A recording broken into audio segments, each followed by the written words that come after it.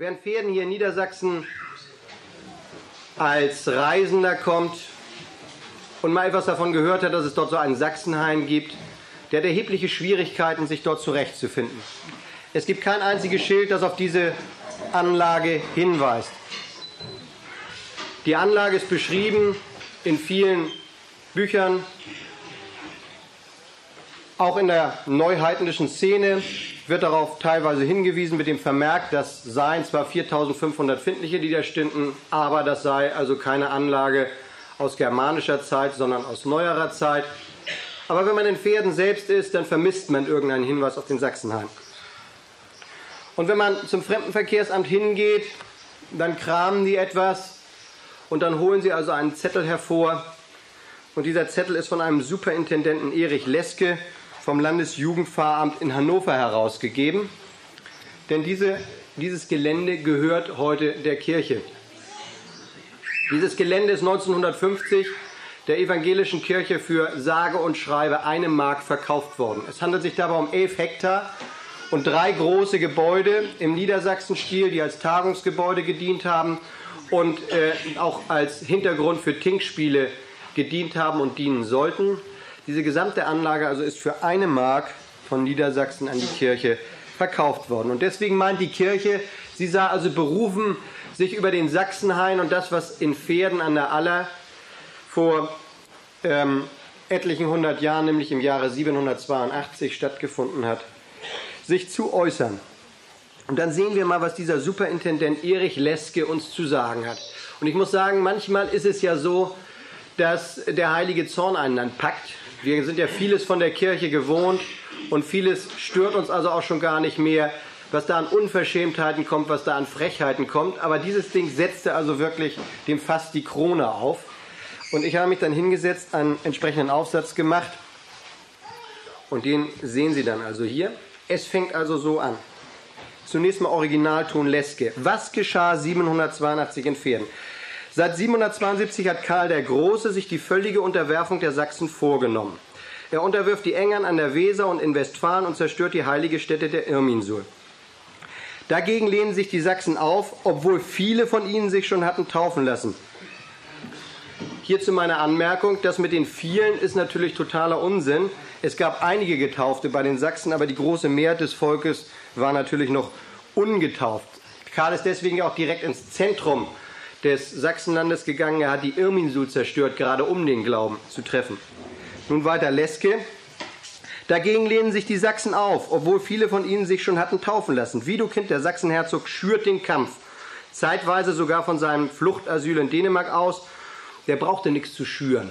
Die waren von sich aus also schon aufgebracht und stößt Kirchen und Klöster zerstörend bis zum Rhein vor. Der Widerstand der Sachsen verschärft sich, als Karl der Große auf dem Reichstag zu Lippspringe in einem Blutgesetz Untreue gegen den König und Verweigerung der Taufe mit dem Tode bedroht.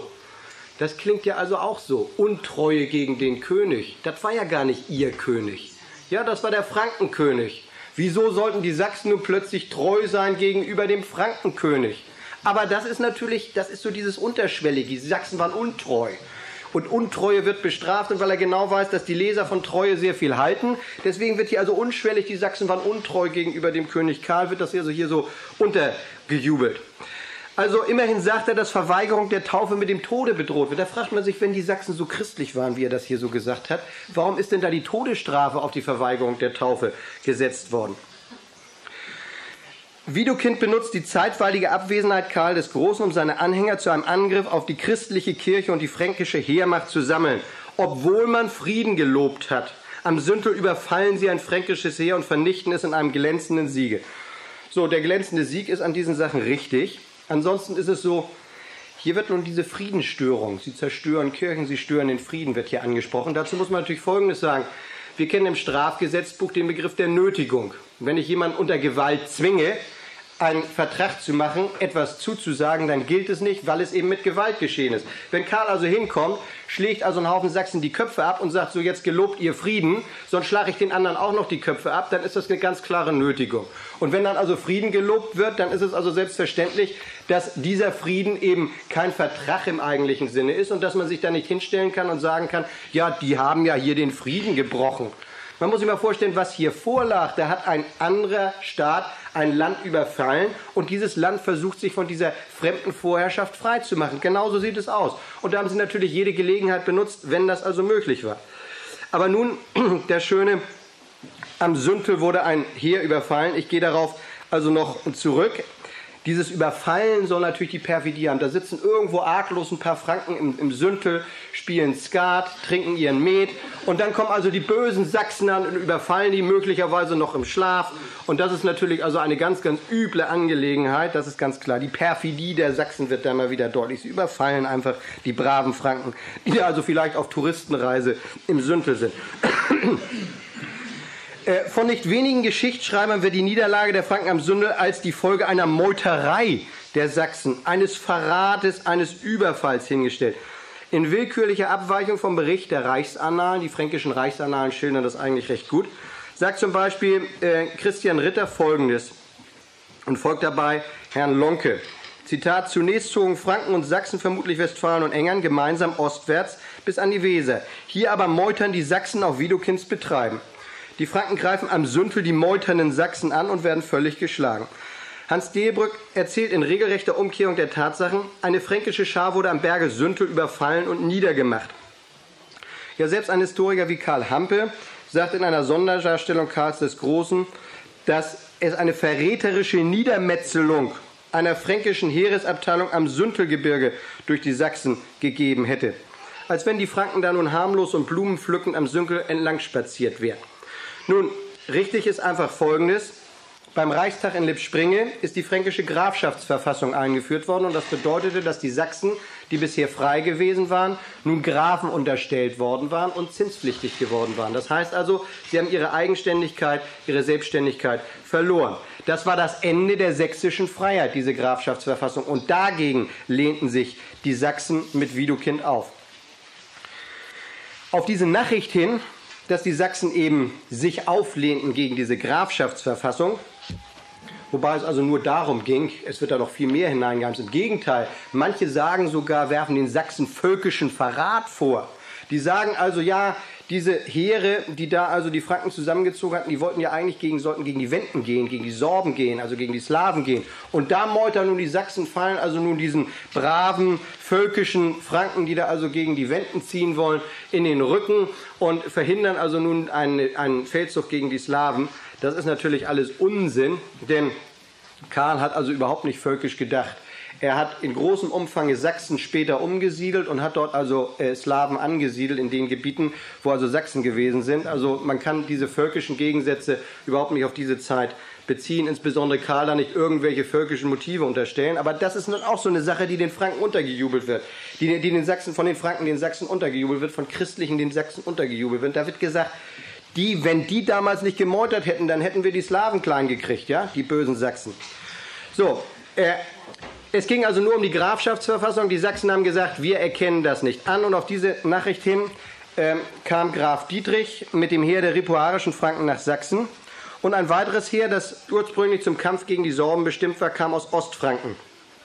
Die Führer äh, dieses weiteren Heeres, dieses ostfränkischen Heeres, waren der königliche Kämmerer Adolgis, Marschall Geilo und Pfalzgraf Worat. Diese vereinigten sich und wollten an sich die Sachsen in einem Zangenangriff angreifen. Also es war nicht so, dass da also nun irgendwie wieder so friedlich waren. Und jetzt bringen die Reichsannalen zweiter Fassung, die Einheit zugeschrieben werden, folgende Schilderung. Ich zitiere.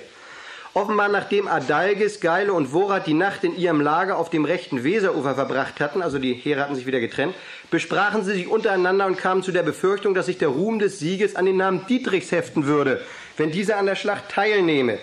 Daher beschlossen sie, ohne ihn mit den Sachsen zu kämpfen. Sie griffen zu den Waffen und zogen mit größter Eile, als wenn sie es nicht mit einem in Schlachtreihe stehenden Feinde zu tun hätten, sondern auf der Verfolgung von Fliehenden und beim Beutemachen wären, so schnell die Rosse sie tragen konnten, auf die Sachsen los, die vor ihrem Lager zur Schlacht geordnet standen. So übel wie der Anmarsch, so übel war auch der Kampf. Kaum hatte die Schlacht begonnen, wurden sie von den Sachsen umzingelt und fast alle getötet. Diejenigen, die entrinnen konnten, flohen nicht in das eigene Lager, sondern in das jenseitig des Gebirges gelegene Lager Dietrichs. Der Verlust der Franken war noch viel größer, als er zahlenmäßig zu sein schien. weil die beiden Kommandeure Adalgis und Geilo, vier Grafen und gegen 20 andere namhafte und edle Männer gefallen waren. Abgesehen von all den anderen, die ihnen gefolgt waren und lieber mit ihnen untergehen, als sie überleben wollten. So der Annalenbericht. Also es ist überhaupt keine Rede davon, dass hier etwa die Sachsen die Franken überfallen hätten, sondern umgekehrt. Die Franken wollen das sächsische Lager überfallen. Nur sie haben es so doof angestellt. Die Sachsen standen in Schlachtreihe und die kamen also, äh, weil sie sagten, oh Gott, die machen wir mal so eben Kirre, kamen also so im vollen Lauf an, stellten sich gar nicht geordnet zur Schlachtreihe auf. Und das ist natürlich so, wenn man so peu à peu immer rankommt und, äh, und dann äh, versucht da also Einfluss zu nehmen, dann wird man eben nacheinander fertig gemacht. Und das haben die Sachsen gemacht, wobei die Sachsen selbst natürlich auch erhebliche Verluste hatten. Die Franken waren sehr viel besser bewaffnet als die Sachsen. Sie hatten sehr viel mehr Eisenschwerter, Eisenbeile, Wurfbeile und ähnliches, sodass da dasselbe sich wiederholt hat bei den sächsisch-fränkischen Auseinandersetzungen, was wir in der Vergangenheit haben für den Kampf der Kimmern und Teutonen gegen die Römer. Auch da hat letztlich die bessere Bewaffnung der Römer den Ausschlag gegeben. Also, Herr Superintendent Leske, keine Spur von einem Überfall der Sachsen auf die Franken. Das Gegenteil ist richtig. Nun weiterhin der Herr Leske. Als Karl der Große ohne Widerstand zu finden bis zur Allermündung herangerückt ist, liefert der sächsische Adel, der sich dem König unterworfen und damit auch die Unterwerfung des Volkes garantiert hat, die am Aufstand Beteiligten an Karl zur Tötung aus. Leske stellt es also so dar, Karl war also sauer über diese Angelegenheit, er war empört, er zieht also jetzt ins Sachsenland und daraufhin liefert der sächsische Adel, der Adel, dem König die Aufrührer auf und die werden dann zur Tötung an Karl ausgeliefert.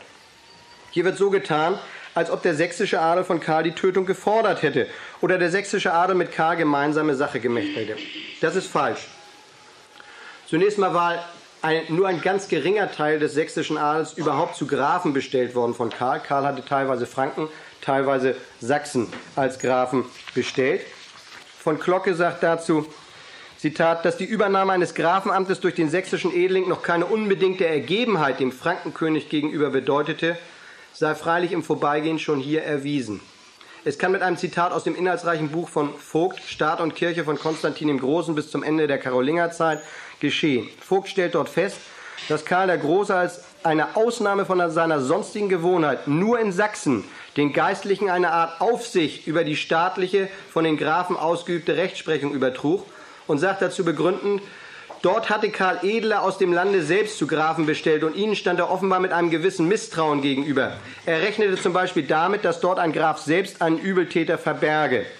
Dies geht in der Tat klar hervor aus der Capitulatio de Partibus Saxoniae, also den berüchtigten Sachsenkapitularien, in deren 24. Abschnitt über Räuber und Übeltäter, die aus einer Gaugrafschaft in einer anderen Zuflucht finden, König Karl bestimmt. Zitat, wenn jemand sie in seinen Schutzbereich aufnimmt und sieben Nächte bei sich behält, außer zum Stellen, zahle er unsere Bannbuße. In gleicher Weise, wenn ihn der Gaugraf verbirgt und ihn nicht zur gerichtlichen Aburteilung stellen will und sich deswegen nicht reinigen kann, verliert dieser seine Ehre. Unter den Übeltätern, für deren Verfolgung die sächsischen Grafen dem König als unzuverlässig erschienen, sind natürlich nur sogenannte politische Verbrecher, die sich aus völkischen Gründen gegen die fränkischen Gesetze und Maßnahmen vergingen, zu verstehen. Das heißt ganz klar, Karl hatte gegenüber den Sachsen, die er bestellt hat, Misstrauen, ganz erhebliches Misstrauen. Er hat, unterstellt sie einer geistlichen Oberaufsicht, was er sonst nie macht. Und daran ist schon zu sehen, dass also auch die sächsischen Adligen, die dort zu Gaugrafen bestellt waren, durchaus als unzuverlässig von Karl eingesehen wurden.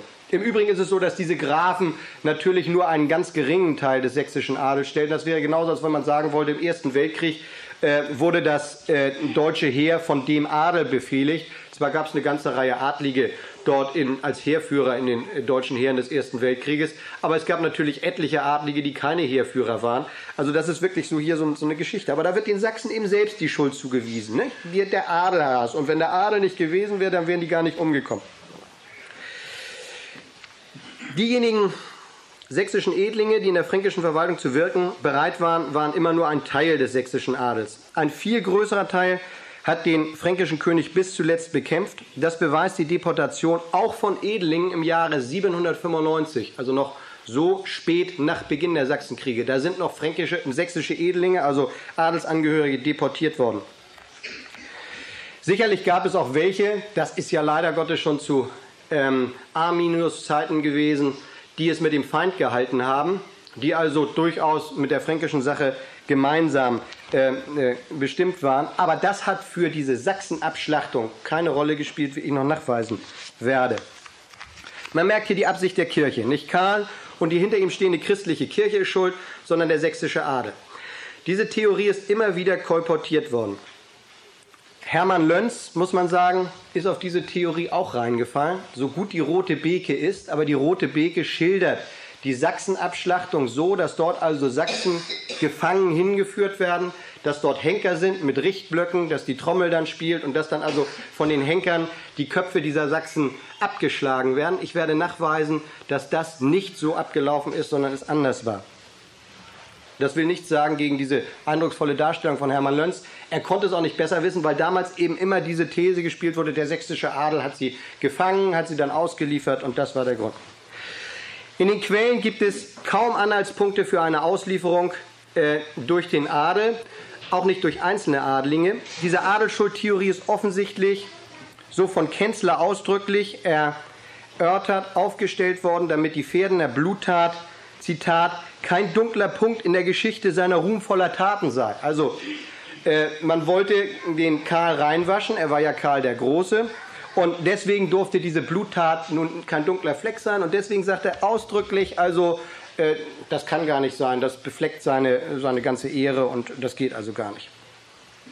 Auch Rundnagel glaubt das, was er auch den Dolchstoß des landesverräterischen Adels nennt, eben die sogenannte Auslieferung der 4500 durch den Adel beweisen zu können, indem er sagt, dass der Adel zu dieser Brutalität durchaus fähig war, zeigt die Tatsache, dass er 792 nach dem Bericht der Reichsannalen 10.000 seiner Volksgenossen an Karl zur Deportierung ins Frankenreich auslieferte. Diese Behauptung Grundnagels liegt aber in Wirklichkeit keine Tatsache, sondern nur eine Kette peinlicher Irrtümer zugrunde. Erstens, im Jahr 792 ist eine Deportierung und infolgedessen auch eine Auslieferung überhaupt nicht erfolgt. Grundnagel hat offensichtlich die Jahre 792 und 804 verwechselt. Zweitens, die Reichsannalen berichten an keiner Stelle, dass 10.000 Sachsen deportiert, geschweige denn vom Adel ausgeliefert seien. Grundnagel hat die Reichsannalen mit den Karlsleben von Einhard verwechselt, das aber auch nur etwas von Deportation und nichts von Auslieferung sagt, geschweige denn durch den Adel. Drittens, zu der großen Deportation von 795 berichten die Annalis Muselani ausdrücklich, dass die Deportierten von Ausgelieferten wird auch hier nicht gesprochen, sowohl aus dem Adel wie aus den nicht adligen Schichten Sachsen stammen. Es ist völlig abwegig, dass also der Adel und seine eigenen Standesgenossen hier ausgeliefert hat. Im Übrigen steht da eben nichts von Auslieferung. Die Franken sind gekommen, haben sich welche eingefangen, haben die dann also äh, deportiert. Zum Teil in Baden-Württemberg gibt es ja so Orte wie Kleinsachsenheim, Großsachsenheim und ähnliche Dinge. Das stammt aus dieser Zeit, wo also Sachsen deportiert worden sind. Ein wirklich grundlegendes Zeugnis liefern die zeitgenössischen Annalis Moselani durch jene Nachricht, dass Karl zur Mitte der 790er Jahre eine gewaltige Menge Edelinge und Frielinge bzw. Laten zwangsweise aus ihrer sächsischen Heimat abgeführt und in die Fremde wieder angesiedelt hat. Hierbei ohne weiteres anzunehmen, der Adel habe also seine eigenen Standesgenossen ausgeliefert, ist absurd. Das heißt dann aber auch, dass man eben auch nicht daraus schließen kann, der Adel habe nun auch im Jahre 782 4500 äh, seiner Stammesgenossen ausgeliefert. Doch weiter das Landesjugendpfarramt Herr Leske. Da flammt der Widerstand unter Widugundsführung noch einmal auf. Aber in einer heftigen Schlacht besiegt Karl der Große die Sachsen durch eine vernichtende Niederlage. Später lässt Widukind sich in einem ehrlichen Ja zum Evangelium taufen. Ehrliches Ja zum Evangelium. Nun, äh, woher man das wissen will, weiß man nicht. Er hat mit Widukind nicht gesprochen, der Herr Leske.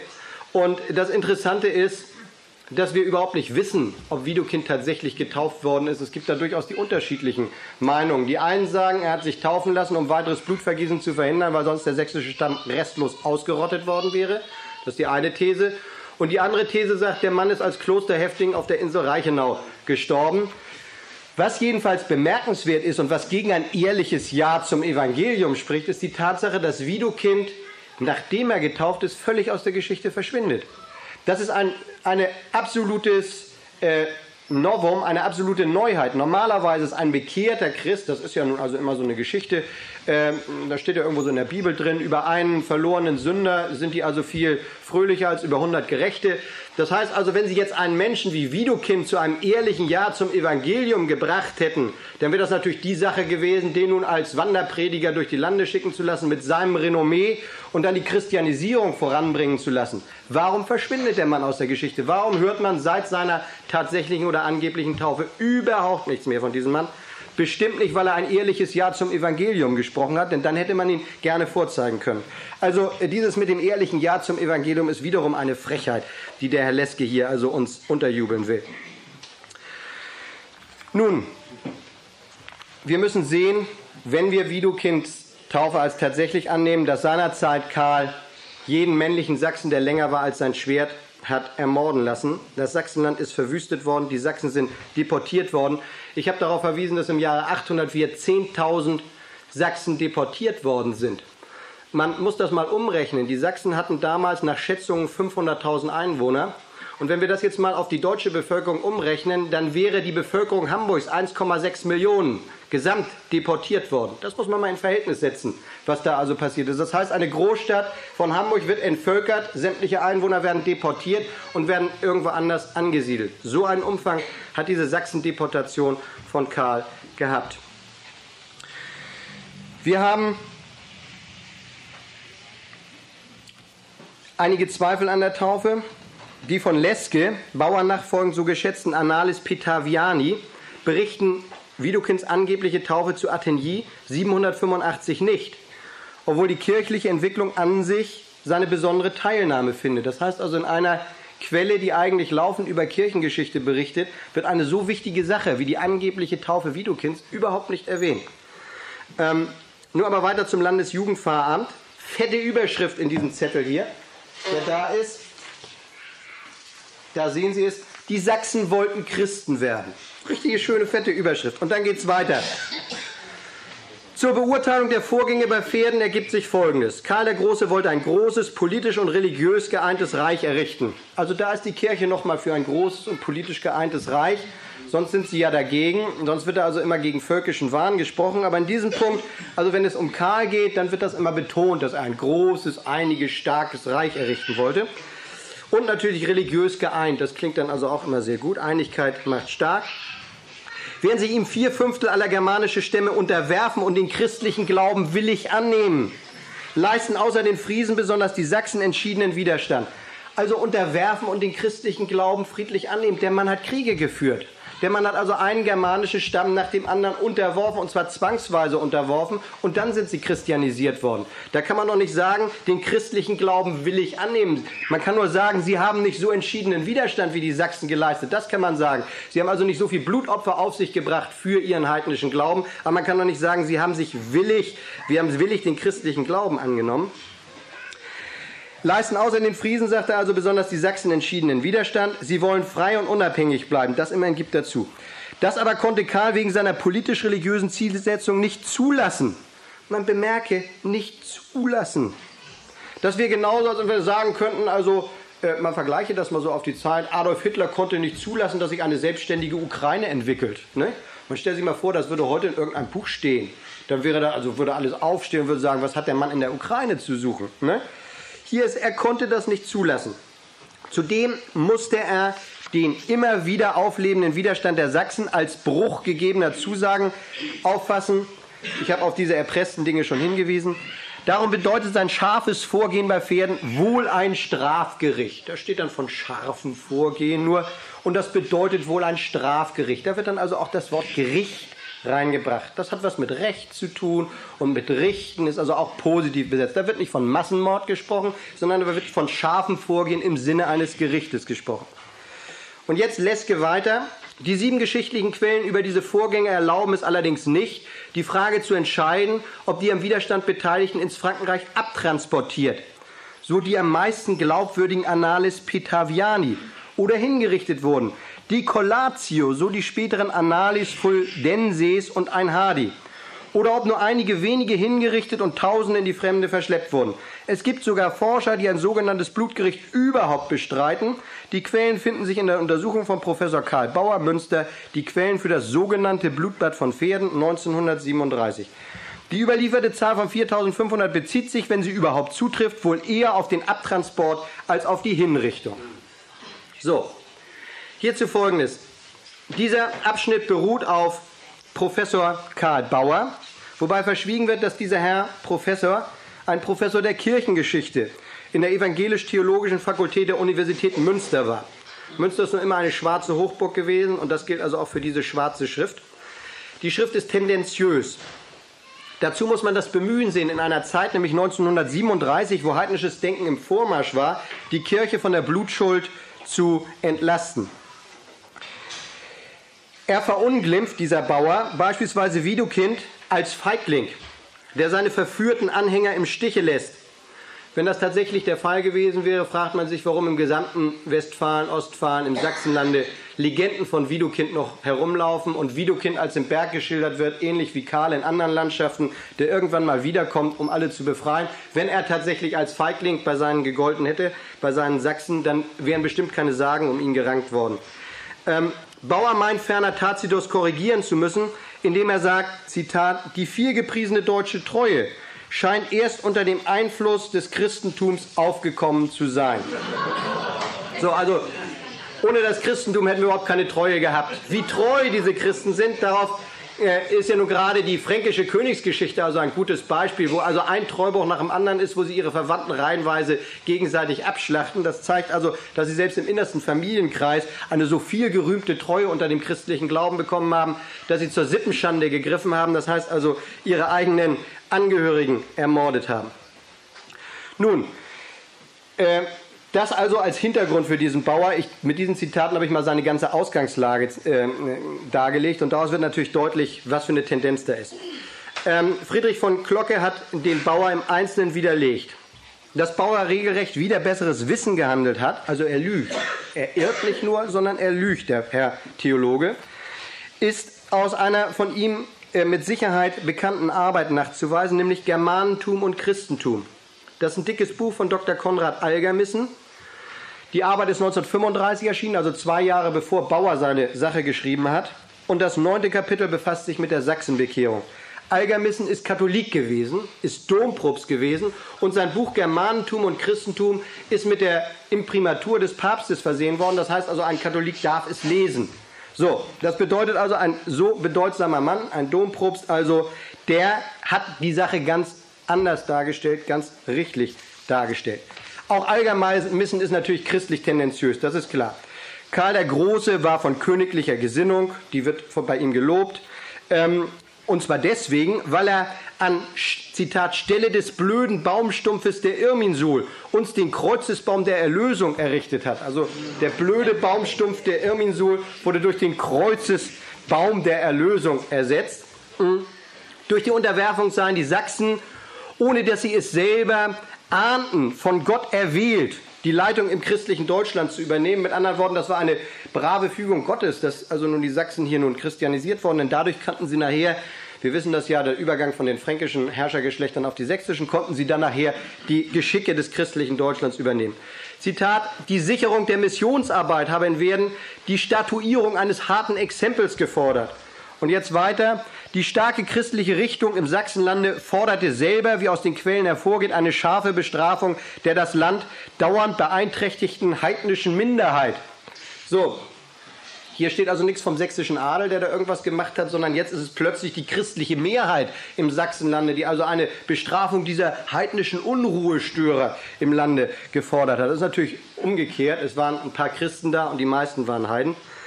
Aber äh, das zeigt, wie dieser Domprobst Algermissen eingestellt ist. Das ist also nicht jemand wie Spannut, der also einerseits Christ ist, andererseits aber nun wirklich, äh, was das Germanentum angeht, klar sieht und richtig sieht und objektiv sieht, sondern auch hier wird also alles aus einer recht einseitigen Brille gesehen.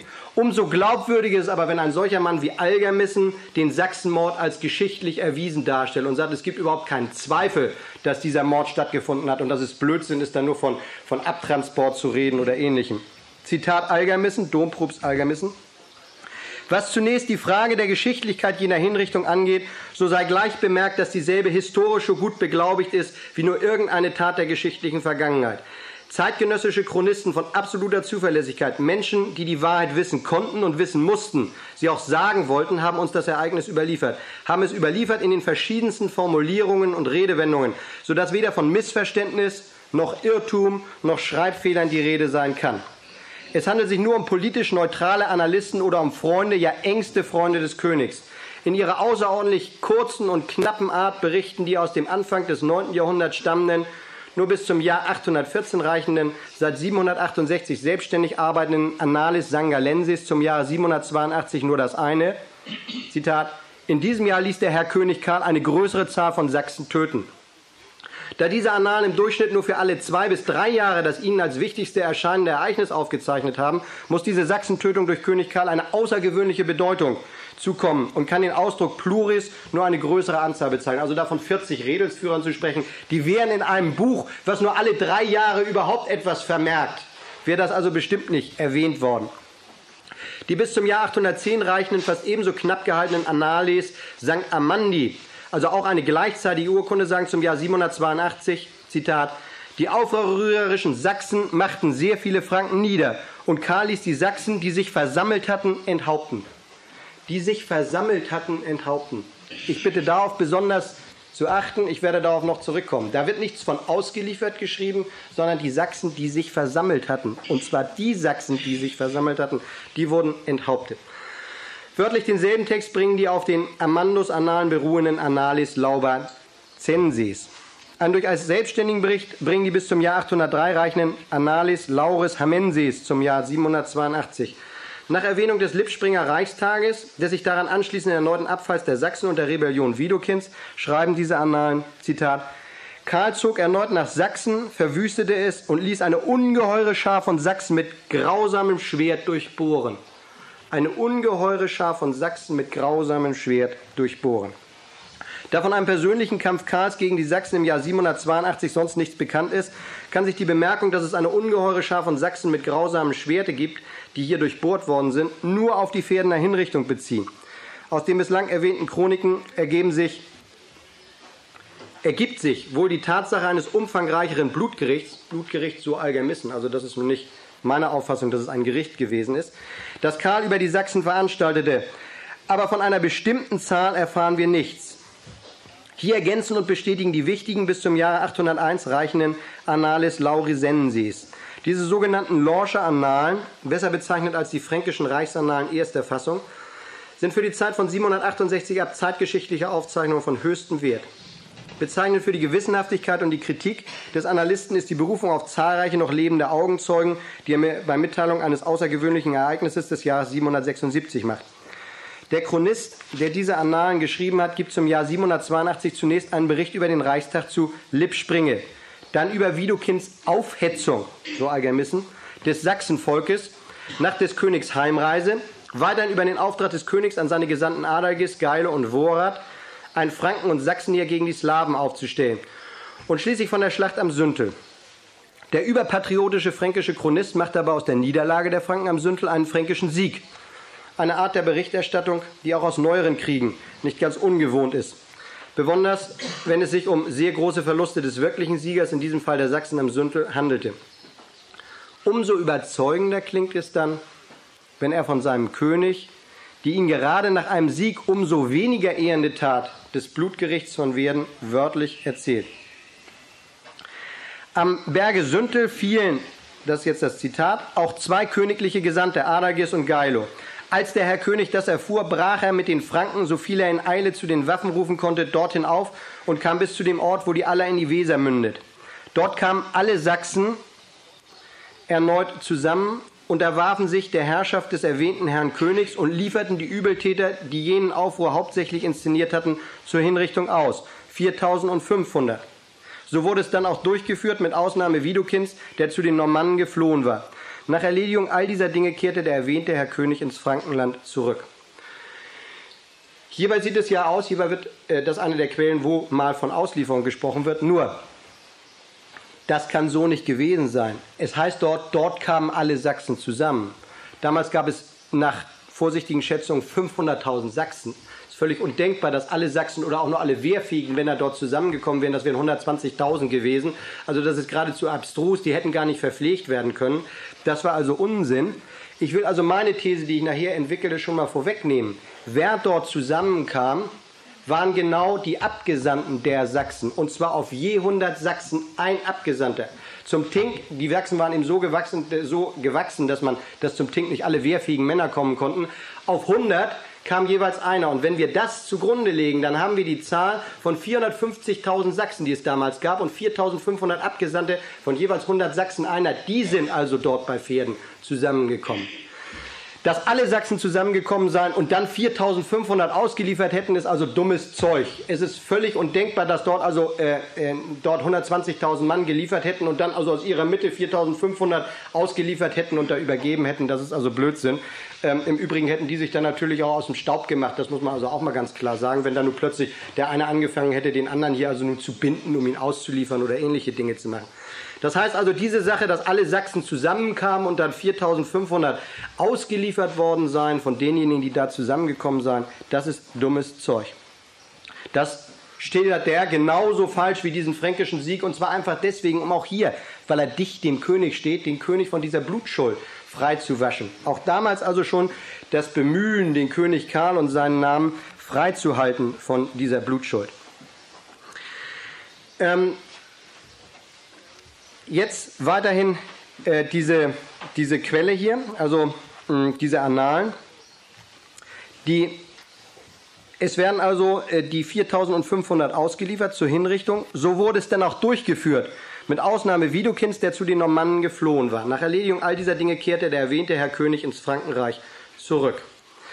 Wir haben hier also eine äh, Quelle, die in einigen Punkten zuverlässig ist, nämlich was die Tötung angeht. Ganz klar die Tötung, also erwähnt in anderen Quellen, dass alle Sachsen zusammengekommen seien und einen Teil davon ausgeliefert hätten, mit Sicherheit falsch ist. Dann fährt diese Quelle fort, als der König das erfuhr, als Vorgeschichte, als der König das erfuhr, glaubte er keinen Augenblick zögern zu dürfen. Schnell zog er Truppen zusammen und brach nach Sachsen auf. Dort ließ er sämtliche vornehmen Sachsen zusammenrufen und stellte eine Untersuchung an über die Urheber jenes Abfalls. Verzeihung, das ist nicht dieselbe Quelle, sondern das sind die Reichsannalen zweiter Fassung, aus denen ich jetzt zitiere.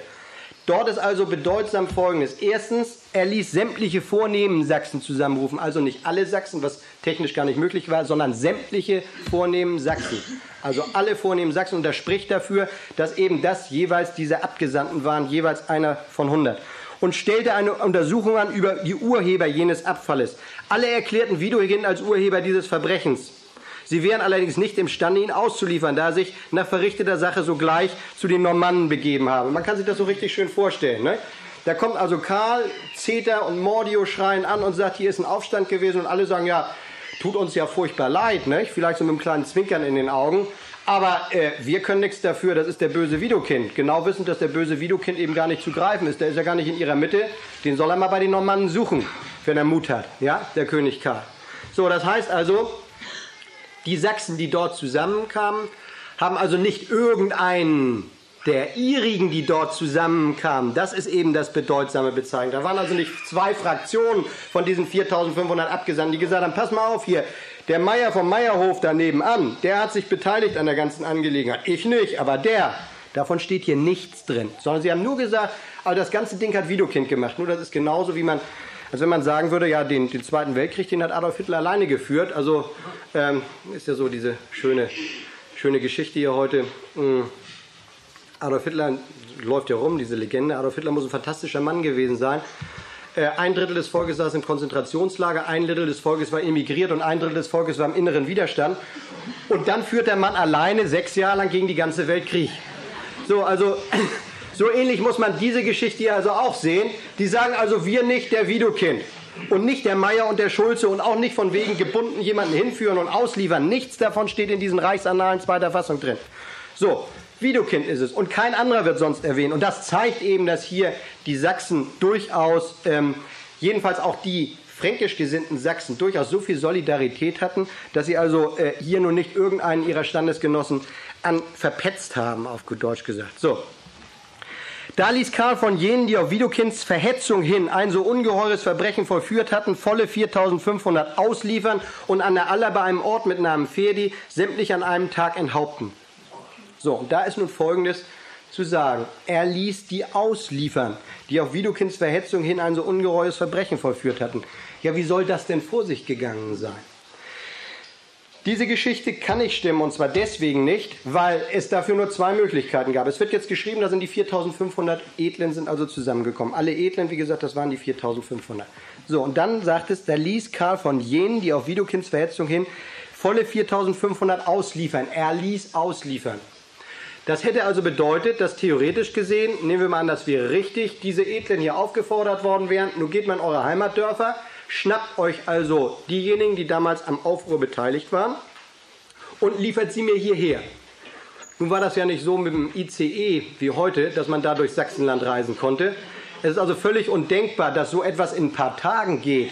Wenn die da also reisen, dann müssen sie da hinfahren. Und wenn sie dahin sind auf dem Hof, dann ist der natürlich längst stiften gegangen, denn sowas spricht sich herum, dass man hier also Aufrührer sucht. Ja? Und die wären also dann schön blöde, wenn sie da so lange sitzen bleiben, bis entweder irgendein Franke kommt und sie festnehmen oder der sächsische Graf kommt und sie also festnimmt. Also es ist totaler Blödsinn anzunehmen, dass also jetzt dort Karl da mehrere Wochen gewartet hätte, Dazu kommt, es war jetzt Herbst, der musste also auch zurückreisen. Man konnte im Winter hier überhaupt nicht überwintern. Die mussten ja immer, die Reisen fanden ja nur im, im, im Sommerjahr statt. Es war also schon spät im Jahre. Also es ist nichts davon berichtet, dass Karl etwa mehrere Wochen im Sachsenland gewesen ist, dort gewartet hätte, bis jetzt diese Vornehmen zurückgegangen wären, irgendwelche Sachsen zusammengefangen hätten und ihn dann hingebracht hätten. Nichts davon wird erwähnt. Ähm, das heißt also, auch hier was dort also äh, steht mit Ausliefern, auch dieser Punkt des Auslieferns ist so nicht zutreffend. Und dazu sagt Glocke zu dieser ganzen Geschichte, der geht also nicht näher ein auf diese Frage der Auslieferung, aber sagt zu den 4500, es ist psychologisch ganz unmöglich, dass ein Mann wie Einhard oder auch ein ihm ähnlich gesinnter Chronist seinem König eine so furchtbare Tat hätte zuschreiben können, wenn sie nicht tatsächlich so geschehen war, wie er sie schrieb. Es sind ja keine sächsischen Annalen, die hier gebracht werden. Da könnte man vielleicht sagen, da wird also jetzt etwas übertrieben. Es sind fränkische Annalen, in denen das steht. Zu diesem absolut eindeutigen und zuverlässigen Quellen kommen zu die Annales Enhards von Fulda, die bis zum Jahr 838 reichen. Der Fulda Analyst hatte ganz sicher zu seiner Zeit die Möglichkeit, die Wahrheit des Pferdener Blutgerichts nachzuprüfen. Er sagt, deren Tod wurde durch Enthauptung von 4500 Menschen gesühnt, also der Tod der Franken am Süntel. Gegen Ende des 9. Jahrhunderts gibt uns nochmals ein Chronist Bestätigung des Werdener Blutgerichts. Das ist der Abt Regino von Prüm, der bei Abfassung seiner Chronik die alten Urkunden vor sich hatte und sie vielfach wörtlich übernahm. Zum Werdener Blutgericht vom Jahr 782 gebraucht eine etwas von den sonst bekannten Annalen abweichende Formulierung. Er sagt, die abermals zusammengekommenen sämtlichen Sachsen lieferten die Aufständischen, die jenen Aufruhr hauptsächlich vollführt hatten, zur Hinrichtung aus. 4500 Männer. Widukind aber floh ins Gebiet der Normannen. Nachdem die Aufständischen teils getötet, teils mit Verbannung bestraft waren, kehrte der König ins Frankenland zurück. Ich bin auch schon eingegangen, dass es völlig undenkbar war, dass sämtliche Sachsen zusammengekommen sind, sondern dass 4500 zusammengekommen sind. Und genau diese 4500 ist auch die Zahl, die eben tatsächlich umgebracht worden ist. Die Hinrichtung der 4500 Sachsen, sagt Klock, ist eine geschichtlich sicher beglaubigte Tatsache. Der Schreibfehler dekollare statt des ursprünglichen delokare, das heißt hinrichten statt aussiedeln, von dem von Unkundigen gefabelt wurde, ist schon deshalb ausgeschlossen, weil das Wort dekollare oder ein ähnlich lautendes in einer Anzahl Quellen überhaupt nicht gebraucht wird. So sagt es Algermissen. Also dieser diese angebliche Wortspielerei, die da von dem Theologieprofessor Bauer gebracht wird, ist schon deswegen abwegig, weil dieses Wort, was man vielleicht falsch schreiben könnte, in den meisten Quellen gar nicht drin ist. Auch ist es nicht Art der Geschichtsforschung, so der Domprobst, eine unbeliebte Sache durch angebliche Schreibfehler aus der Welt zu schaffen, wenn hierfür kein Beweis vorliegt. Die handschriftlichen Urkunden geben in diesem Fall nirgends einen Anhalt für Schreibfehler, auch innere Gründe sprechen nicht dafür. Obwohl Algermissen also die in kirchlichen Kreisen schon vor 1935 kolportierte Schreibfehlertheorie abgelehnt hat, trägt sie Bauer 1937 als Neuheit vor. Und das Landesjugendpfarramt greift dies dankbar auf. Ähm, ich will auf dieses Wort das interessiert also nur die Lateiner unter uns, will ich nicht näher eingehen, aber da ist im Einzelnen also dargelegt worden, dass das Wort decollare auch sonst überhaupt nicht für Aussiedeln verwendet wird. Es gibt da ganz andere Ausdrücke für Deportation. Also auch aus den gesamten Quellen der damaligen Zeit wäre das völlig ungewöhnlich, das so darzulegen. Aber Superintendent Leske behauptet es nach wie vor immer noch und immer noch falsch. Und er sagt, dass diese Analysis Petaviani, wo diese angebliche Schreibfehler drin sind, am meisten glaubwürdig sei. Das stimmt eben nicht. Denn ähm, gerade diese Annalen sind also diejenigen, die in vielen Dingen durchaus also Unsinn erzählen und also ein bisschen schief und verkehrt sind. Das heißt also, das sind gerade nicht die besten. Ich will also das nicht hier im Einzelnen ausführen, dazu sind, sind Spezialuntersuchungen. Aber es gibt also eine nette weitere These in diesem Zusammenhang, die auch Leske wieder übernimmt. Leske greift in die kirchliche Mottenkiste, indem er behauptet, es erscheint unwahrscheinlich, wenn nicht gar unmöglich, dass 4500 Menschen an einem Tage mit dem Schwert hingerichtet werden konnten. Dafür kamen nur die Redelsführer in Frage, also etwa 40. Diese These ist erstmals in der katholischen Jungen Front vom 9. September 1934 gebracht worden. Es hieß dort, dass die Zahl 4500 für die bei Pferden getöteten daraus zurückzuführen sei, dass versehentlich zwei Nullen angehängt worden seien. Also ähm, es seien eigentlich nur 45 gewesen. Und äh, das sei also der Grund dafür, dass sie also 4500 seien. Nun, äh, das ist natürlich deswegen sehr nett, weil es die Nullen damals noch gar nicht gab. Das sind die arabischen Ziffern und die sind erst im, äh, im 12. Jahrhundert also nach Europa gekommen. Die können also nicht in fränkischen Annalen vom 8. oder 9. Jahrhundert stehen. Die haben nämlich die römischen Ziffern verwendet und in den römischen Ziffern gibt es die Null also nicht, sodass also diese Nullenthese, kann man sie mal sagen, nur von Nullen aufgestellt werden kann. nämlich, von, nämlich von solchen, die keine Ahnung haben.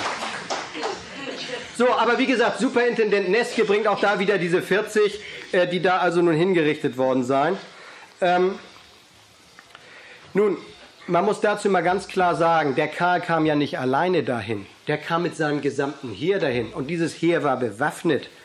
Ähm, es gab also keine berufsmäßigen Henker. Und selbst wenn man berufsmäßige Henker gehabt hätte, wäre das natürlich möglich gewesen, 4500 Menschen auf äh, einen Schlag zu töten. Schon vor Bauer hat Schäfer darauf hingewiesen. Und das ist eine Arbeit, die der Bauer gekannt hat, ausweislich der Dinge. Schäfer hat also ähm, geschrieben über die Hinrichtung der Sachsen durch Karl den Großen.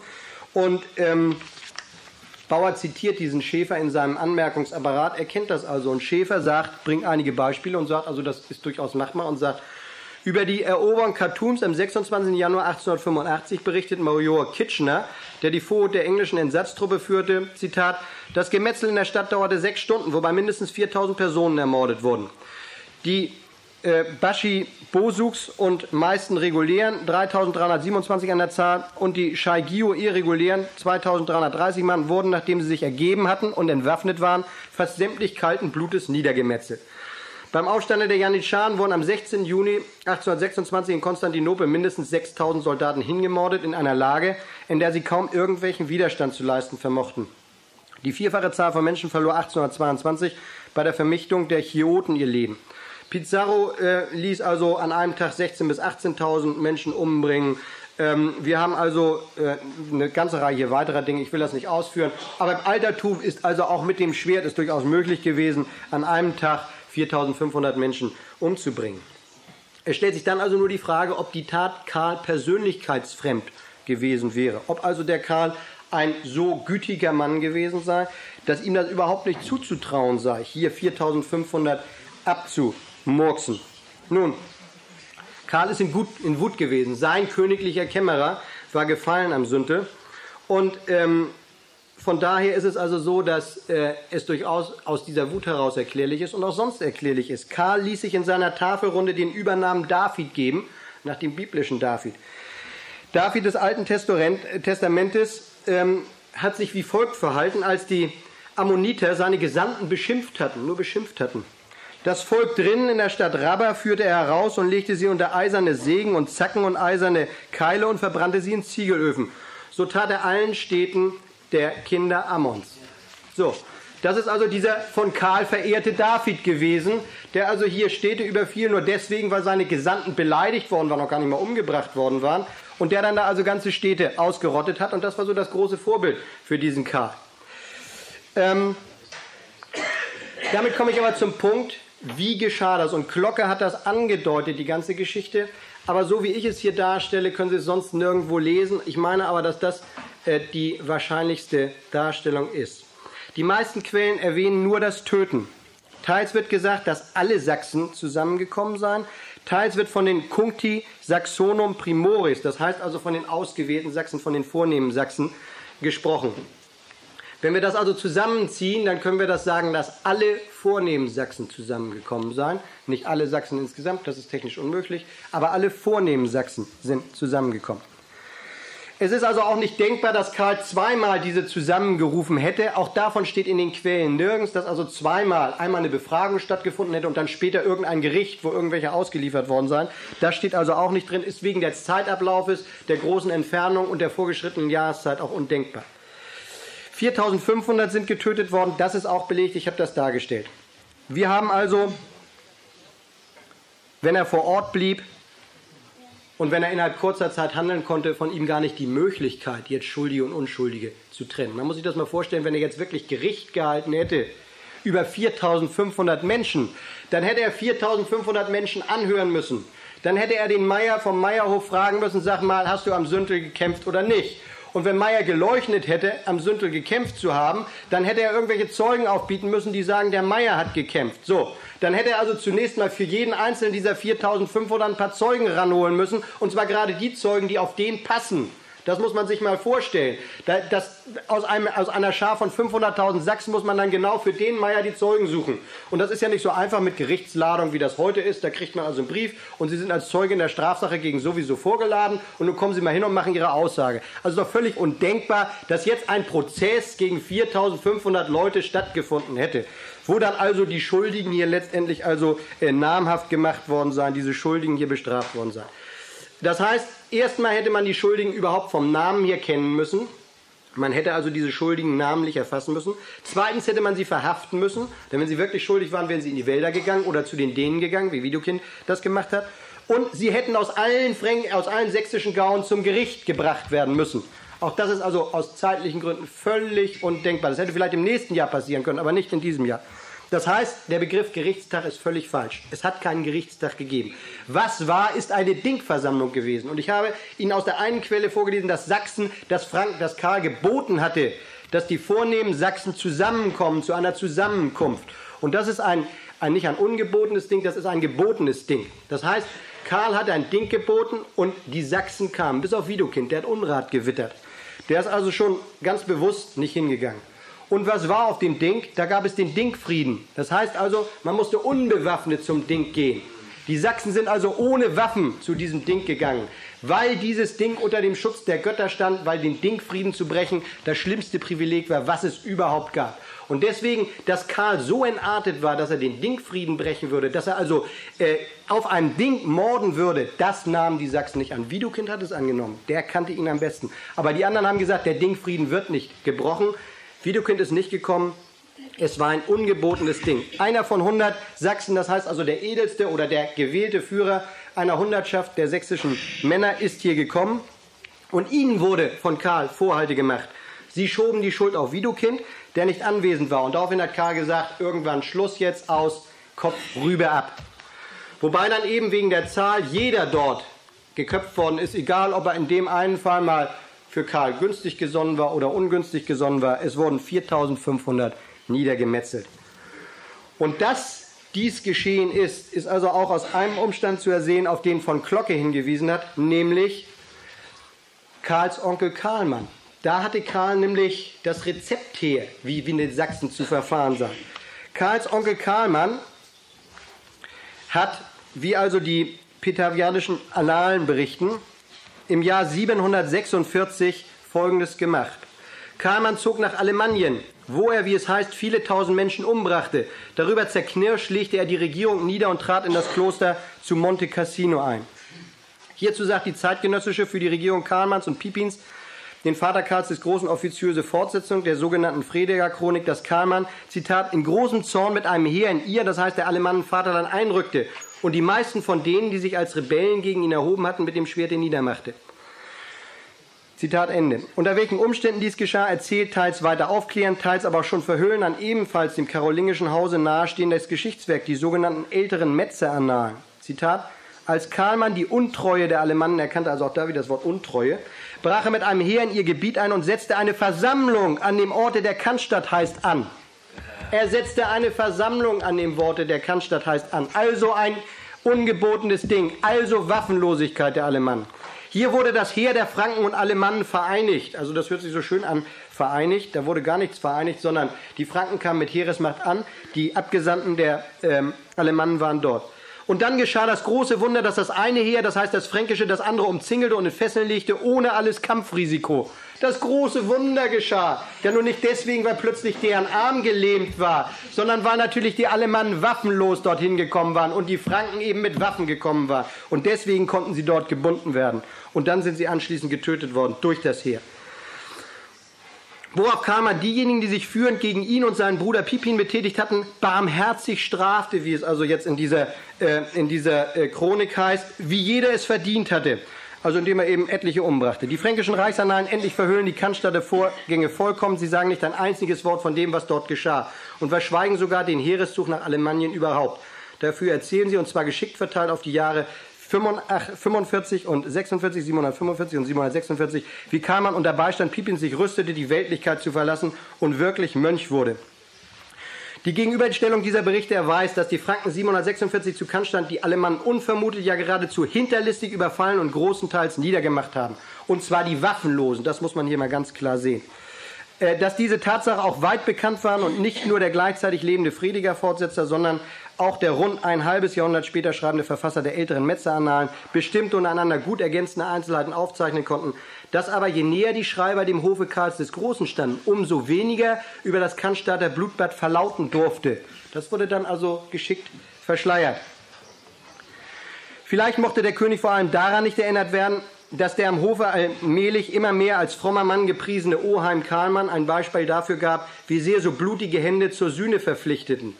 Jedenfalls passt das verschleiernde Verfahren der, des Karls des Großen näher bzw. nahestehenden Analysten bei der Behandlung der Blutbäder von Cannstatt und von Werden bemerkenswert zusammen. Dass ein hier ein anderes ohne Verlust tötet, ist nur dann denkbar, wenn dieses andere hier völlig waffenlos war. Und das wiederum ist nur denkbar, weil die Germanen sonst, wie Tacitus schreibt, auch immer in Waffen gingen, wenn also hier ein ungebotenes Ding angesetzt war. Und das ist hier auch gesagt worden. Es war ein ungebotenes Ding angesetzt. Und das bedeutet also, dass hier Karl für die Untat von Pferden sich seinen Onkel als Vorbild genommen hat. Er hat ein ungebotenes Ding angesetzt. Er wusste genau, die sächsischen Edligen kommen waffenlos. Und dann kann er sie abschlachten lassen. Es fand also kein Gerichtsstatt statt, sondern es fand ein Massenmord an dem sächsischen Adel statt. So ist es gewesen. Und alles andere, was da gespielt wird, der Adel habe also ausgeliefert, ist also dummes Zeug, ist falsch und eine unhaltbare These. Um also den Umfang dieses Mordes 4500, das ist natürlich, wenn wir jetzt den Ersten und Zweiten Weltkrieg sehen und die Verluste, da ist das keine große Zahl. Aber man muss das mal also in Beziehung setzen jetzt. Ähm, das ist also ein Prozent der Bevölkerung gewesen. Das wäre so, als wenn jetzt 800.000 Deutsche umgebracht würden vom heutigen Volk von 80 Millionen. Das heißt also, so muss man mal die Verhältniszahlen sehen, die wir also hier haben. 800.000, ein solcher Massenmord ist das damals gewesen. Und diese, dieser Massenmord wird heute durch kirchliche Pamphlete geleugnet. Es wird verhöhnt geradezu noch das Andenken dieser Opfer. Jetzt wieder der Leske, Superintendent, aber wie dem auch sei, in Pferden handelte Karl aus politischen Beweggründen und nicht zunächst aus der Absicht heraus, die Germanen zu Christen zu machen. Da es aber sein Wunsch war, dass in seinem Reich möglichst viele Untertanen Christen waren, gab er der Kirche freie Hand zur Mission. Dass die Sachsen in einem verständlichen Freiheitsdrang gegen den Kaiser eine Zeit lang auch die Versuche zur Christianisierung ablehnten, erklärt sich wohl daraus, dass dieses Christentum in der Gefolgschaft Karls zu ihnen kam. Da wird so getan, als ob man das Christentum nur deswegen ablehnen müsste, weil es also von irgendwelchen Fremden gebracht würde. Vielleicht hat ihnen die Ideologie als solche auch nicht gepasst. Die Ablehnung galt jedoch nicht dem Christentum als solchem, so Leskin. Die Behauptung, die Sachsen hätten sich lieber hinschlachten lassen, als dass sie ihrem heidnischen Glauben untreu geworden wären, ist jedenfalls eine völlige Verdrehung der geschichtlichen Vorgänge. Es ist unbestritten, dass die germanische Religion gerade in jener Zeit sich in der Auflösung befand und ihren Anhängern keine lebendigen Werte mehr vermitteln konnte. Also wie schön, dass sie von ihrer germanischen Religion erlöst wurden, weil die keine Werte mehr vermitteln konnte. Nur wenn die sich in der Auflösung befand, warum dann Todesstrafe, für die sie sich nicht taufen lassen konnten? Wenn das alles in der Auflösung war, da braucht man doch nicht zu so harten Strafen zu greifen. Ne? Kaum ein Menschenalter später machten dann, so wie der Leske, machten dann auch die Sachsen nicht den geringsten Versuch mehr, nicht zu erheben oder das Christentum abzuschütteln. Ja, wie schön. Ein 30-jähriger Krieg wurde geführt, es wurden äh, Zehntausende abgeschlachtet und dann ist es so, nachdem das Sachsen dann ausgeblutet war, dann bringt der Leske es fertig, um zu sagen, ja, kaum ein Menschen später, Menschenalter später mehr, äh, machten sie keinen Versuch mehr, das Christentum äh, abzuschütteln. Und jetzt weiter, und jetzt wird es also nun wirklich fast unerträglich, kann man nur sagen, bei Leske. Die Sachsen haben das Christentum bis zum heutigen Tage mit der ihnen eigenen Zähigkeit treu bewahrt. Man sehe sich mal die Kirchenaustritte an und die Kirchenbesuche im Sachsenland. Das sind also äh, vielleicht zwei Prozent, die noch in die Kirche gehen. Allein schon um dieser Haltung willen hätten sie ein besonderes Ehrenmal verdient, also weil sie am Christentum festhalten. Ne? Es ist daher nicht eine Ironie der Geschichte, sondern eine Folge der ausgleichenden Gerechtigkeit Gottes, wenn heute der Sachsenhain Mittelpunkt der evangelischen Jugend Niedersachsens wurde. Das müssen Sie zweimal hören. Es ist daher nicht eine Ironie der Geschichte, sondern eine Folge der ausgleichenden Gerechtigkeit Gottes, wenn heute der Sachsenhain Mittelpunkt der evangelischen Jugend Niedersachsens wurde. An einer Stätte, die ursprünglich auch mit dazu dienen sollte, junge Deutsche zum Kampf gegen die christliche Kirche aufzurufen, sammeln sich seit 1950 evangelische Jungen und Mädchen, um Jesus Christus die Ehre zu geben und ihm in ihrem Leben Gefolgschaft zu geloben. Superintendent Erich Leske, Suling. Das muss man sich mal vorstellen. Man stelle sich mal vor, ein Konzentrationslager wird einem Traditionsverband der SS übergeben. Ja? Die machen dort also äh, eine Gedenkausstellung, die machen da also ihre Kameradschaftstreffen immer äh, haben da so Sprüche dran wie äh, Arbeit macht frei und ähnliche Dinge.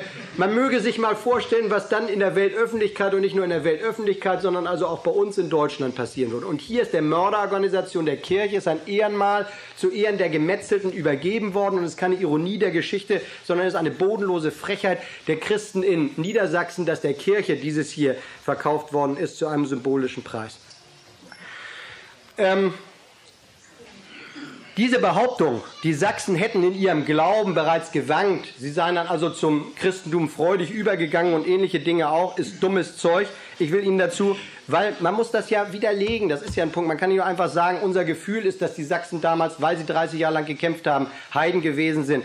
Im Gegenteil, man muss es ja belegen. Und dazu ist es so, dass wir also ähm, verschiedene Notizen haben.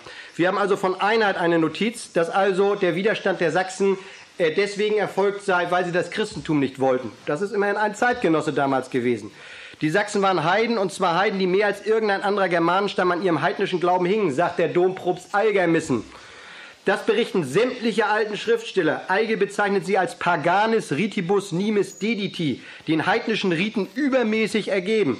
Rudolf nennt sie Cultui Dämonum Dediti, den Dämonenkult ergeben. An einer anderen Stelle werden sie sogar Paganissimi, das heißt die heidnischsten genannt. Selbst in der Abspürungsformel beim altsächsischen Taufritus übernahm die Kirche die altheidnischen Götternamen, was bei keinem anderen Germanenstamm geschah. Ein Zeichen, wie sehr das Sachsenvolk an seinem Glauben hing. Die Formel lautete, entsagst du dem Teufel, ich entsage dem Teufel und allem Teufelsdienst, ich entsage allem Teufelsdienst und allen Teufelswerken und ich entsage allen Teufelswerken und Worten, dem Donau und Wodan und Sachsnot und allen Unholden, die ihre Genossen sind. Diese Abschwörungsformel in Sachsen zeigt also ganz deutlich, dass man dort das Heidentum noch als besondere Gefahr empfand und dass deswegen namentlich die Götter erwähnt werden mussten, die sonst nirgendwo erwähnt worden sind. Wir haben gesehen, wie die Öffentlichkeit reagiert, wenn also auf einem ein Supermarkt auf einem jüdischen Friedhof äh, gemacht werden soll, der also seit äh, seit etlichen Jahrzehnten schon überhaupt nicht mehr benutzt wird. Das muss man sagen, der ist seit 100 Jahren ist da also niemand mehr belegt worden. Gräber sind längst nicht mehr gepflegt worden. Da entsteht ein Riesengeschrei. Und was ist hier? Äh, hier ist es so, dass also wirklich die Verhöhnung der Opfer von einem Pferdener Fremdenverkehrsverein noch mitgemacht wird, indem dieses Faltblatt verbreitet wird. Und auch eigene Veröffentlichungen gehen in dieselben Richtung. Ähm, jetzt aus, aus dem pferdenschen ähm, Fremdenführer Geschichte in frühsächsischer Zeit war Pferden Haupt- und Gerichtsort des Sturmigaus. Während der Sachsenkriege Karls des Großen sollen hier im Jahre 782 4500 des Aufstands beschuldigte sächsische Krieger hingerichtet worden sein. Wenn auch das Blutgericht als solches nach den fränkischen Quellen eindeutig belegt ist, das immerhin geben die Pferden dazu, so wird die Zahl der Opfer doch angezweifelt. Der Sachsenheim mit seinen 4500 Findlingen in den Jahren 1934, 35 als Mahnmal errichtet, soll an diesen Vorgang erinnern. Und dann heißt es weiter unter Sachsenheim, Aus dem Geschichtsunterricht ist Ihnen bestimmt die sagenhafte Hinrichtung von 4500 Sachsen in Pferden durch Karl den Großen im Jahr 782 bekannt. Heute erinnern daran der Sachsenhain, errichtet 1935, in dem an einem zwei Kilometer langen Rundwanderweg 4500 Steinfindlinge aufgestellt sind. Die gesamte Anlage gehört der evangelischen Landesjugendkirche, die hier eine Freizeitstätte für Jugendarbeit hat.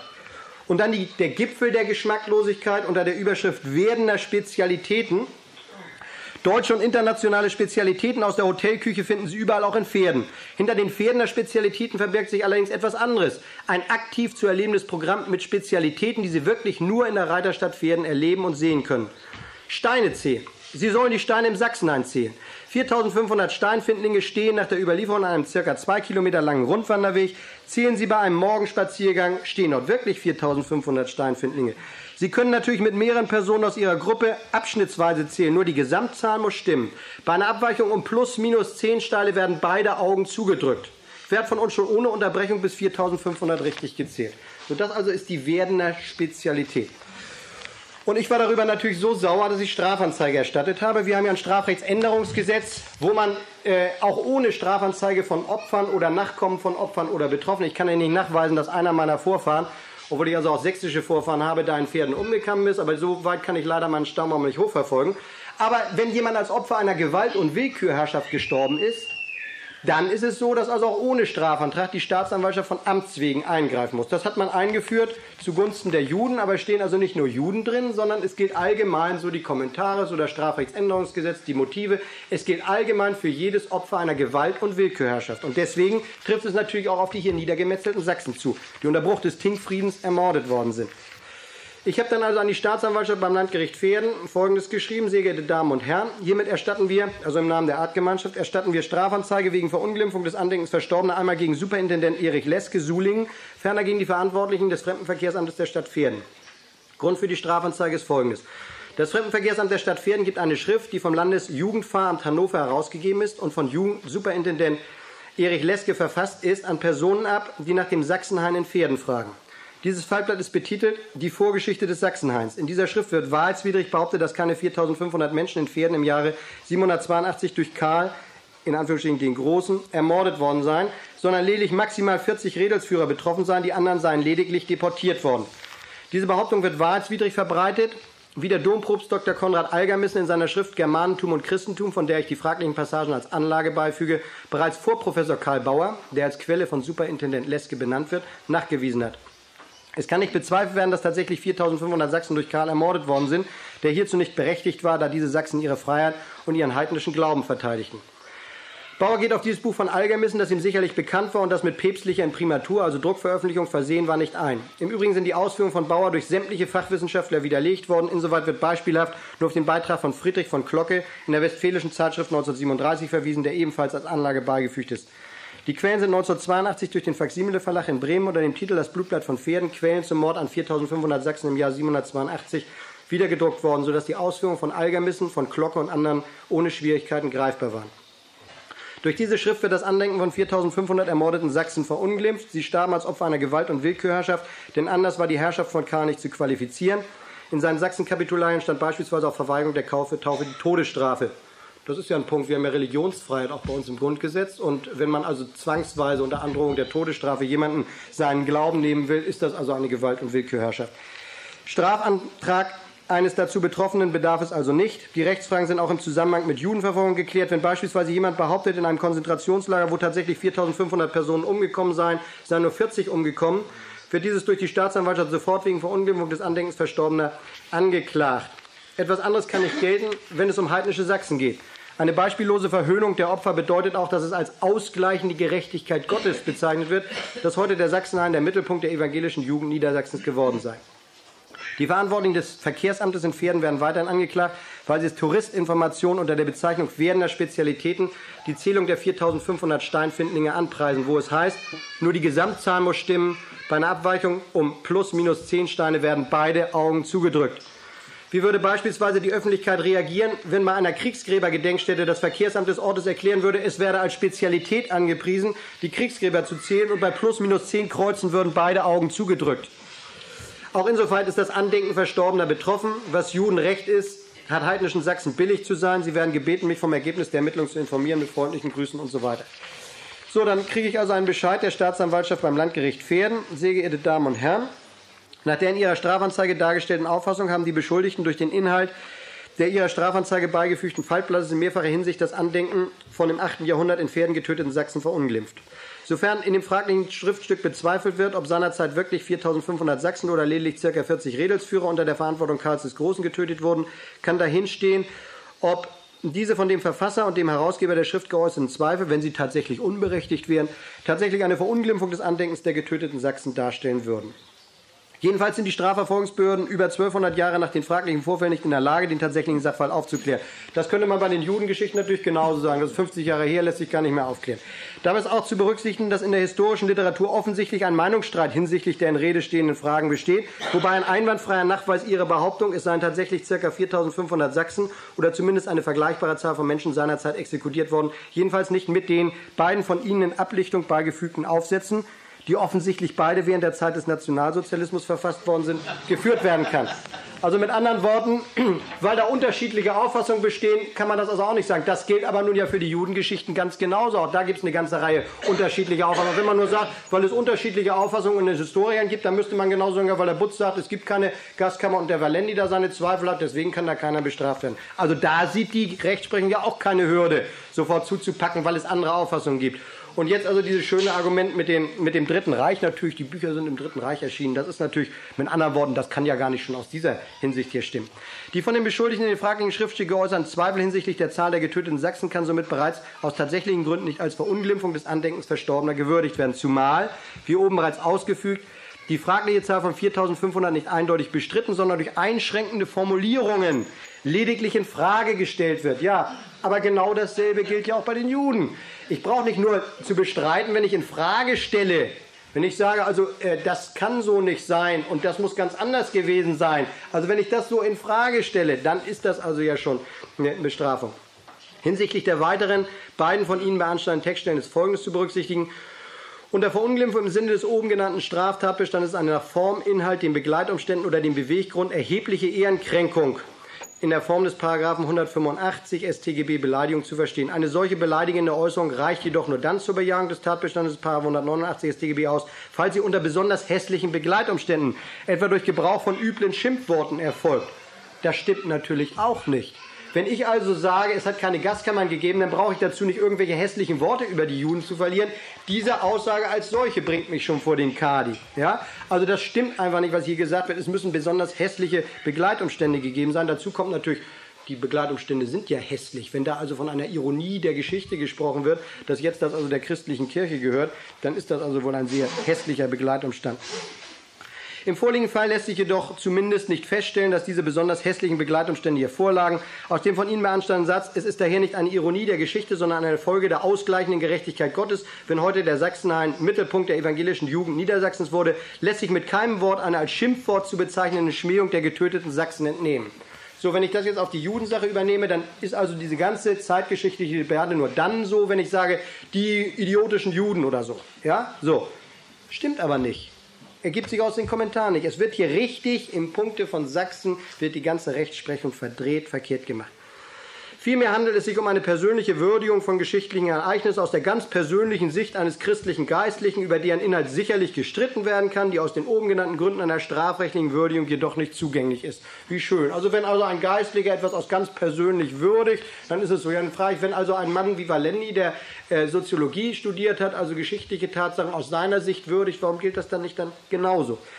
Auch der Aufforderung der Faltblattverfasser, die Steinfindlinge im Sachsenhain zu zählen, vermag ich weder eine erhebliche Ehrenkränkung der getöteten Sachsen, geschweige denn eine unter besonders hässlichen Begleitumständen zustande gekommene Eheverletzung zu entnehmen.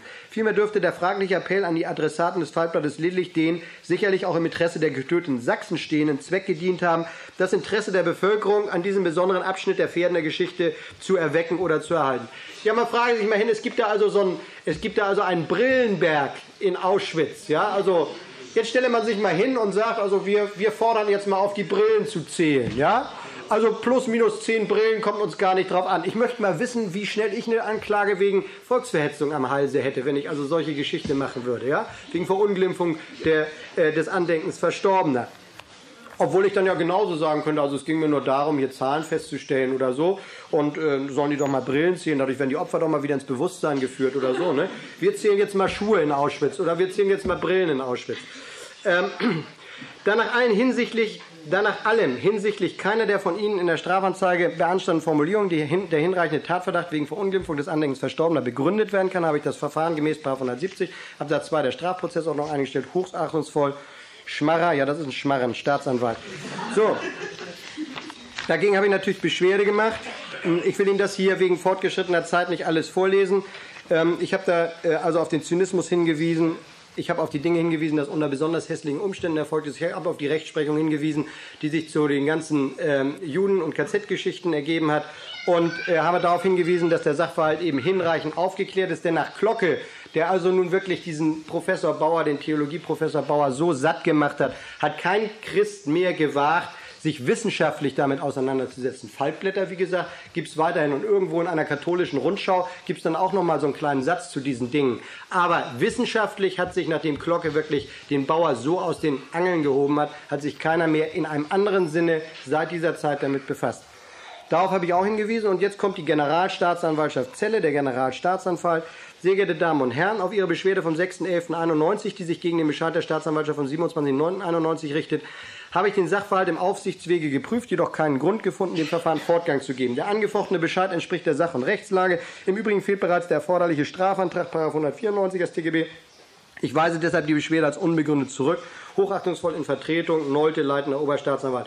Nun, Strafantrag, wie gesagt, braucht man hier nicht. Die Juden brauchen auch keinen Strafantrag zu stellen und deswegen ist es ein einziger Skandal. Nur, was zeigt dies? Es zeigt dies, dass dieser Staat christliche Verhöhnung von heidnischen Opfern duldet dass das straflos bleibt, dass in Pferden diese Dinge gemacht werden können. Und es zeigt weiterhin, dass wir selbst also aufgerufen worden sind, hier was zu machen.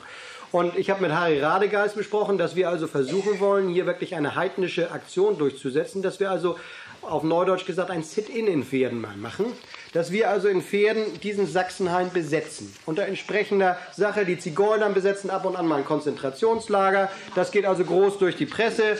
Ähm, die Juden haben also schon demonstriert, besetzen einen Friedhof da in, in Hamburg-Ottensen und äh, sammeln sich da. Das geht groß durch die Medien. Warum sollen wir nicht mal den Sachsenhain besetzen? Zumal es nämlich so ist, das muss man mal ganz klar sagen, dass dieser Sachsenhain natürlich der Kirche überhaupt nicht gehört. Denn dieser Vertrag ist sittenwidrig, er ist nichtig. Man kann ein Objekt, was damals schon einen Wert von mehreren Millionen Mark hat, nicht für eine Mark verkaufen. Ein solcher Kaufvertrag ist wegen Sittenwidrigkeit nichtig. Es sind dort eben Steuergelder verschleudert worden.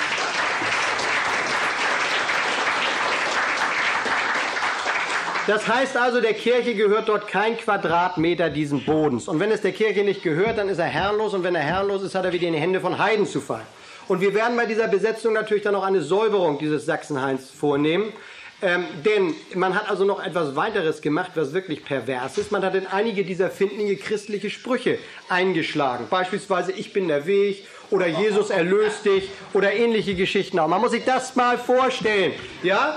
Das, das ist also, das wäre genauso, als wenn man, äh, als wenn man also in einen jüdischen Grabstein rein, reinmeißeln würde, äh, äh, ähm, äh, Juda verrecke oder Deutschland erwache oder Heil Hitler oder irgendwas in dieser Richtung. Man muss sich mal den Aufschrei der Öffentlichkeit verstehen. Man würde also an einen jüdischen Friedhof gehen und würde nun da Heil Hitler reinmeißeln oder ein Hakenkreuz oder was. Auch Kreuze sind da angebracht worden. Man würde dann also auf einem jüdischen Grabstein ein Hakenkreuz machen. Da würde doch alles in Ohnmacht fallen. Ne? Und, ähm, und mit Recht in Ohnmacht fallen, muss ich sagen, denn es ist selbstverständlich nicht ein jüdischer Grabstein äh, ein Objekt, wo man jetzt also ein Hakenkreuz anbringt oder Heil Hitler anbringt oder was auch immer.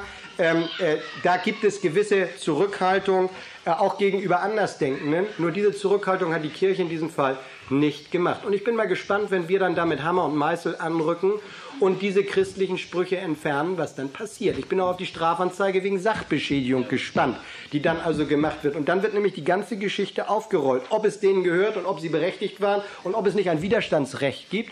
Und auf diese Geschichten freue ich mich schon. Nur, das, darüber müssen wir uns im Klaren sein. Es reicht natürlich nicht, wenn wir mit 10 oder 15 dahin gehen. Das müssen schon so viele sein, dass wir auch ohne, sagen wir mal, größeren Polizeiaufwand da nicht wegzukriegen sind, sodass wir da also dann eine übergreifende Aktion machen.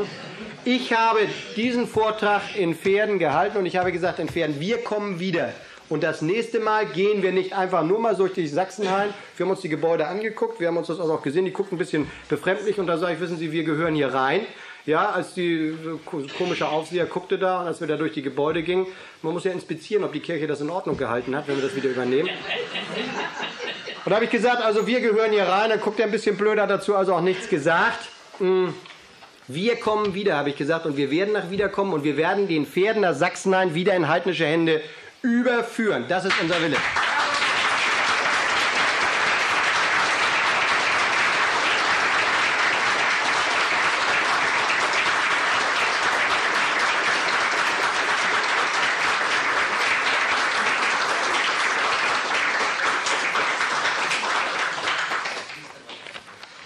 Es gibt ja manche Legenden, die es also äh, praktisch so ein bisschen auszuschalten gibt. Das muss man ganz klar sagen. Dieser Sachsenhain-Legende ist eben auch eine, die rumläuft. Und ich glaube, viele von Ihnen haben da schon mal in dieser Richtung irgendwas gehört. Das waren gar nicht so viele und es stimmt gar nicht. Und so objektiv wie wir sind, fangen wir dann ja auch zu zweifeln. Ja, ist das wirklich so? Vielleicht ist das ja wirklich übertrieben worden von uns und im Dritten Reich ein bisschen erhöht worden und, und, und. Ich glaube, es ist hier ganz klar geworden, diese Tatsache ist geschichtlich erwiesen und wer daran zweifelt, der begeht ein Verunglimpfen des Andenkens verstorben. Wir sind damit länger als ich eigentlich dachte, mit dem ersten Vortrag des heutigen Tages fertig. Wir haben eine Gesprächsrunde Heidnisches Leben heute. Wer sich dafür nicht interessiert, braucht natürlich nicht dabei zu sein. Wir würden die ansetzen um 11 Uhr. Wir machen jetzt hier mal so eine Lüftungspause, dass wir hier so ein bisschen dann